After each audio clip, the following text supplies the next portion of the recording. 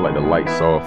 I like, uh, you know, I like Miller High Lifes in the studio. You know, I like people around because I, because I'm big on energy. Like I'm big on feedback. You know, if I'm in the studio recording, you know, I'm gonna ask who's in the room what you think. What do you think about it? So, what you think about this ad lib right here? What you think this needs an echo? Do you think, you know, I'm always constantly wanting feedback. I want the energy from people because that's how hits are created. You know, most hits are not created. You just go in the studio, record yourself, and it's a hit. Like it takes multiple sessions, takes multiple opinions to make a hit. So when I'm in a studio environment, I definitely like to be high. I like to be, you know, I like to be in my zone. I like to be, you know, drinking on something. I like to have my team around when we make our joints. I mean, I think I really got my own lane because the thing about me is, you know, if if a situation was to pop off, you know, I don't really think I need to be coached. You know, I don't think I really need a lot of artist development. Not saying a lot of new artists do. I don't really know because I've never been in a session with them. I don't I don't really know if they've been developed or not. The only thing I hear is their finished product.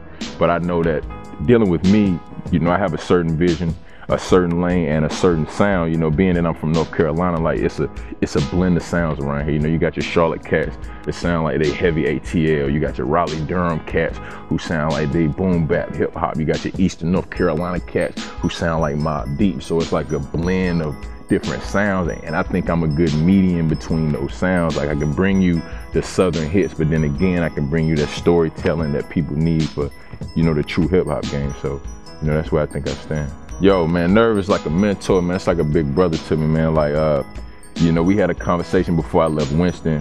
Um, I don't even know if I want to put this business out there, but it is what it is. Like, you know, I left Winston, dog. Like, I got evicted, you know what I'm saying? But, uh, you know, I came to Raleigh to work on my album. And, you know, I told Nerve, man, like, Nerve, man, I need a job, man. I need somewhere, to, you know what I'm saying, to get money real quick because, you know, I'm moving to Raleigh. You know what I'm saying? It's time to do this music music because at the time, you know what I'm saying, Cole album was about to drop. So we all excited, like, you know, Cole about to drop his album, man. You know, I'm about to move to Raleigh, Nerve hype, I'm hype. So we like, cool, man, we about to do the music. So when I moved here, that's when Nerve automatically took the manager role. Like it wasn't a sit down talk. It wasn't a, you know, a signed paper agreement or anything. It was more like, you know, I'm your manager and I down him up and said, I'm your artist. So uh, was more like that. And then like for the sound, chasing the sound was already, you know, easy because he had some throwaway beats that he thought was old, he thought was wet, that I thought was hot.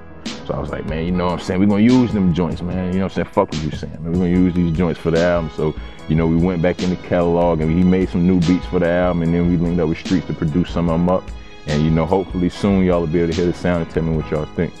Yeah, um, you know, it all started out with Nolo. Um, Nolo was the centerpiece of everything, you know. Um, Nolo found us when we was in high school that was before I went to Jones Senior from New Bern High. But when I was in New Bern High, like, you know, Nolo took me, Major Bucks, and J High in, called Frontline. That was my old crew, Frontline. So, you know, he took us in, he molded us. We dropped real niggas hard to find. Then after we dropped the mixtape, that's when Nolo had a cousin by the name of P. Wise who was linked up with All Terrain. He was already in the circle of Nervous Wrecking Bob and all them. So, you know, that's when I made a trip to Raleigh. And ever since that trip, it was history. You know, I was All Terrain we came out with the mixtape, the next chapter. Then I met some extended fam, T Grills, Germ, Filthy. You know what I'm saying? I knew Cole by uh, by the stuff that he was affiliated with, with Bomb Shelter.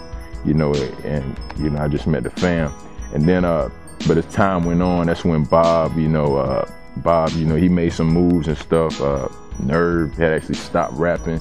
So I was still in school, like, you know what I'm saying? So I'm looking at it like, man, I ain't even trying to give up on music just because the boys ain't doing music. I mean, I ain't about to drop no tunes. So that's why I birthed 24 7 out of that.